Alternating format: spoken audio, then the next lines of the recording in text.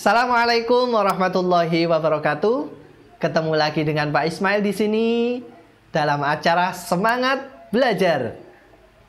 Pada kesempatan kali ini kita akan belajar mengenai rukun Islam. Tujuan pembelajaran ini nantinya diharapkan kita semuanya paham apa itu rukun Islam, bisa menyebutkan rukun Islam mulai dari yang pertama sampai yang terakhir secara urut dan benar. Oke, langsung saja kita belajar ya. Ya, rukun Islam. Rukun Islam itu artinya kewajiban setiap orang yang beragama Islam. Rukun Islam ada lima. Yang pertama, syahadat. Yang kedua, sholat yang ketiga zakat, yang keempat puasa, dan yang kelima haji bagi yang mampu. Oke, kita hafalkan sambil bernyanyi ya. Satu, dua, tiga.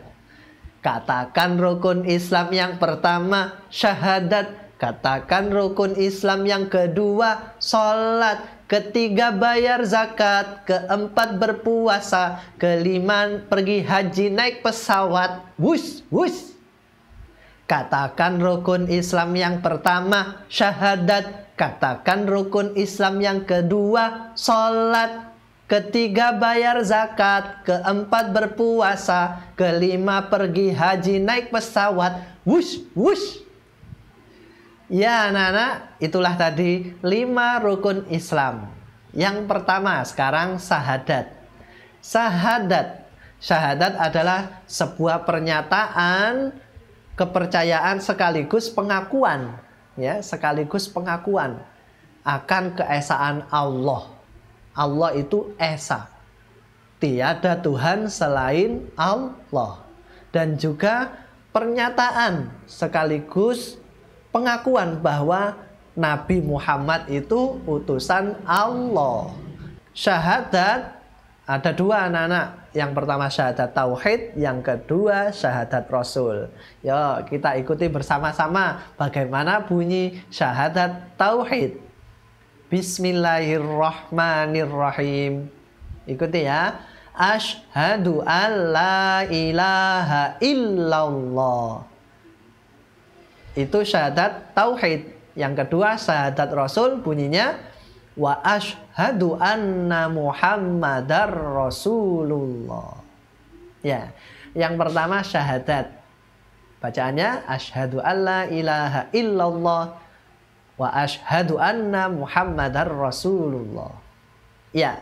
Berikutnya adalah rukun Islam yang kedua yaitu salat.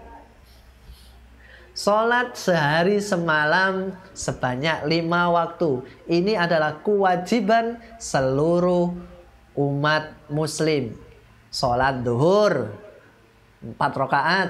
Sholat ashar, empat rakaat. Maghrib, tiga rakaat. Isya, empat rakaat. Dan subuh, dua rakaat. Wajib. Ya. Jadi tadi rukun Islam yang pertama apa? Syahadat. Yang kedua, sholat. Ya betul, pinter. Selanjutnya yang ketiga membayar zakat. Zakat artinya mengeluarkan sejumlah harta yang kita miliki kepada orang yang berhak menerimanya seperti fakir dan miskin. Biasanya kita mengeluarkan zakat setiap bulan Ramadan. Zakat apa itu namanya anak-anak? Iya, namanya zakat fit fitrah. Wajib seluruh umat Islam mengeluarkan zakat fitrah pada bulan Ramadan. Ya, rukun Islam tadi apa yang pertama? Syahadat. Yang kedua, sholat, pinter. Yang ketiga, bayar zakat. Selanjutnya, yang keempat yaitu berpuasa. Coba dilihat gambar apa itu? Yaitu gambar orang yang tidak mau makan padahal di depannya ada es krim. Apa itu puasa ya? Puasa artinya menahan diri.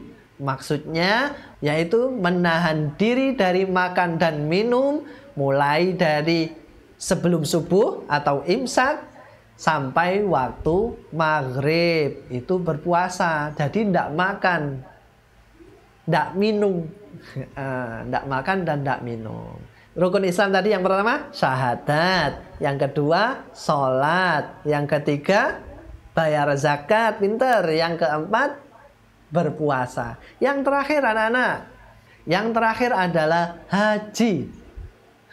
Kita di Indonesia pergi haji ke Baitullah. Baitullah ada di kota Makkah. Ya. Baitullah ada di kota Makkah. Dan ibadah haji ini bagi yang mampu anak-anak. Mampu. Maksudnya yang pertama sehat badannya, kuat ya. Terus cukup bekalnya. Punya uang saku. Dan yang ketiga ada transportasinya. Naik apa? Naik pesawat, ya naik mobil dan lain sebagainya. Jadi bagi yang mampu. Untuk yang tidak mampu bagaimana? Tidak diwajibkan. Jadi ibadah haji diwajibkan bagi yang mampu. Oke, kita hitung lagi. Yang pertama tadi apa? Rukun Islam, syahadat. Yang kedua, sholat. Yang ketiga, bayar zakat. Yang keempat, berpuasa. Yang kelima, pergi haji. Itulah lima-lima rukun Islam. Demikian pembelajaran kali ini mudah-mudahan bermanfaat untuk kita semuanya. Ketemu lagi di video selanjutnya. Demikian, wassalamualaikum warahmatullahi wabarakatuh. Dadah.